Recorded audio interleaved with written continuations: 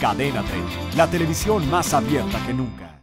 En el campamento del América continúan hablando del empate ante el Toluca del pasado sábado en el Azteca, donde se presentaron discusiones y bueno, muchos dichos, dimes y diretes en torno al arbitraje de Chacón que fue bastante malo.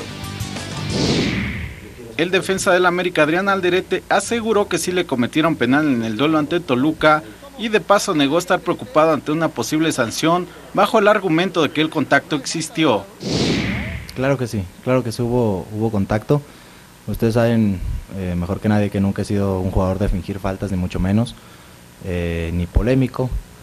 Este, claro que hubo contacto y la mejor toma la tiene el árbitro que está eh, dos, tres metros atrás de mí, que él, es el que ve mejor la, la, toma y se da cuenta inmediatamente que es penal.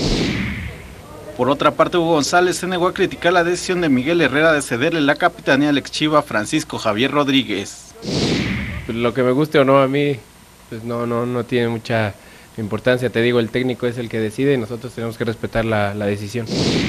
El portero, no obstante, dijo que no le gustaría vestir la playera de Chivas. Para mí no, no sería algo, algo bueno irme a, por ejemplo, a Chivas. Yo no, no me gustaría irme. Digo, nací aquí en, en América, crecí y, y, aquí quiero quedarme toda, toda mi carrera. Para Cadena 3 Deportes, Eduardo Domínguez.